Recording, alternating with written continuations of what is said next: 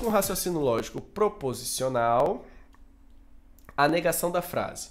O candidato chegou atrasado e não conseguiu fazer a prova. Pode ser escrita como? Aqui eu quero chamar a atenção para vocês uma coisa que muita gente erra, mas é bem tranquilo, gente. Vamos lá. Eu já falei sobre negação para vocês na, no exemplo uh, do início da aula, né? Tipo, Pelé foi jogador de futebol, para negar é Pelé não foi jogador de futebol, tá? Agora vamos pegar o exemplo. Marcos. Marcos é professor. Marcos é professor de raciocínio lógico e ama trabalhar. E ama trabalhar. Opa! E ama trabalhar. Galera, vamos lá. Aqui a gente tem né, uma proposição composta, porque apareceu um conectivo aqui, tá bom? Presta bem atenção nisso, tá? Então, Marcos é professor de raciocínio lógico e ama trabalhar. Se eu pedir para negar isso aqui, quem nunca teve contato com essa matéria vai fazer isso aqui, ó. Ah, se é para negar, então é Marcos não é professor de raciocínio lógico e não ama trabalhar. E vai sair crente que acertou isso aqui, tá certo, gente? Mas não esquece não, é uma besteirinha que faz toda a diferença na hora da sua prova. Quando você tiver que negar, tá certo? Uma proposição composta, o conectivozinho aqui, o E e o OU, isso é no caso do E e do OU, ele vai mudar, tá certo? Muda, o E vira OU e o OU vira E. Então, a forma correta de negar isso aqui é Marcos, Marcos não é professor, Marcos não é professor de raciocínio lógico, o E, ó, vira O, galera. Eu vou até botar de vermelho aqui para você não esquecer mais, ó. Isso é a forma correta de negar, ó.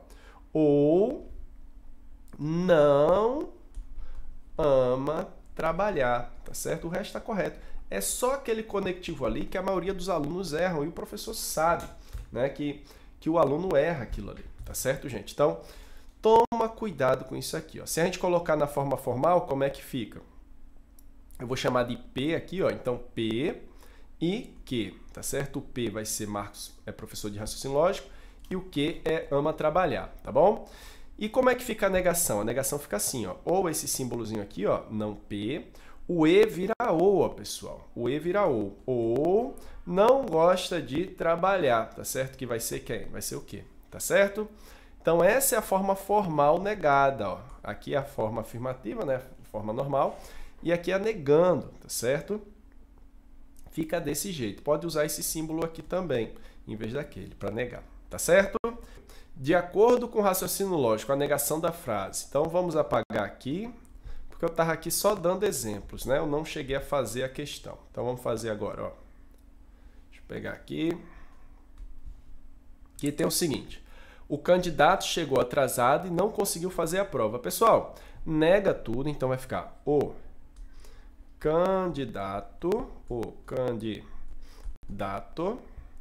não chegou, não chegou atrasado, o candidato não chegou atrasado. Aqui é um E, né, gente? No lugar do E, a gente sabe que vai virar quem? Ou, tá certo? Ou, aí tem não conseguiu fazer a prova. Se ali é não conseguiu fazer a prova, a gente vai negar o não tá certo? Então vai virar sim. Então não precisa botar nada, é só afirmar. Então, ou conseguiu, ou conseguiu fazer a prova, beleza? Bem, qual vai ser a resposta aqui, pessoal? O candidato não chegou atrasado. Ó, a letra C. O candidato não chegou atrasado ou conseguiu fazer a prova. Resposta letra C. Então, com as regras, galera, fica extremamente fácil até o raciocínio lógico, tá bom? Isso você vai pegar treinando bastante, assistindo aqui todas as nossas aulas.